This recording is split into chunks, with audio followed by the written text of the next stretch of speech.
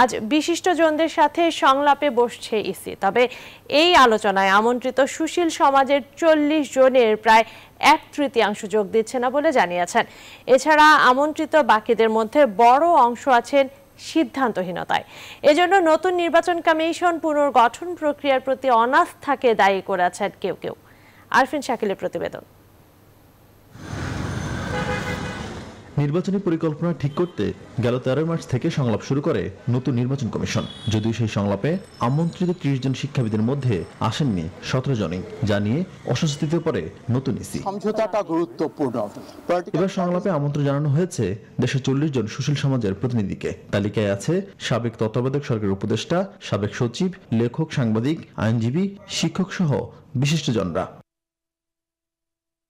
আমন্ত্রণ পাওয়া অন্তত বিশ জন বিশিষ্ট নাগরিকের সাথে সংলাপ নিয়ে কথা বলে নিউজ টোয়েন্টি তাদের অন্তত আটজন অসুস্থতা, অনাস্থা সহ নানা কারণে সংলাপে যোগ দিচ্ছে না বলে জানান। সাতজন আছেন সিদ্ধান্তহীনতায়, বাকি পাঁচজন যোগ দিবেন বলে জানান।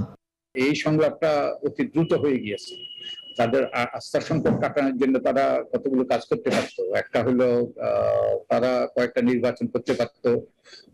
নির্বাচন করে তারা দেখাতে পারতো যে তারা আগের কমিশন থেকে ভিন্ন। আমি যাব না। কারণ খুব সিম্পল কারণ এদেশে ভোট টোট হয় না। এটা গিয়ে তাদেরকে লেজিটিমাইজ করা বৈধতা দিয়ে আমার কাজ না। আবার কেউ কেউ এখনই হতাশ হতে রাজি নন। অনাস্থার যেটা একটাই তৈরি হয়েছে সার্চ কমিটির দশজনের নাম প্রকাশ করে নাই। এটি সার্চ কমিটি এই সমস্যার জন্য। এখন এই জন্য তো আওয়াল সাহেব দায়ী হবেন না।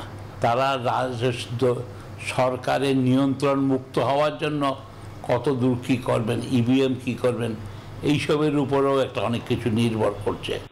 জন্য সময় দিতে হবে তাদেরকে ট্রায়াল করতে হবে। পক্ষপাতহীন ভাবে এবং দৃঢ়তার সাথে তাদের উপর অর্পিত যে আছে সেটা পালনের কিছু সংশয় আছে সেই সংশয়টাও কেঁদে দেওয়ার সুযোগ সৃষ্টি হবে। দিনক্ষণ ঠিক না হলেও সংলাপের জন্য এরপর আমন্ত্রণ জানানো হবে সিনিয়র সাংবাদিক কিংবা সাবেক নির্বাচন কমিশনারদের। Arifin Shakil news twenty Dhaka.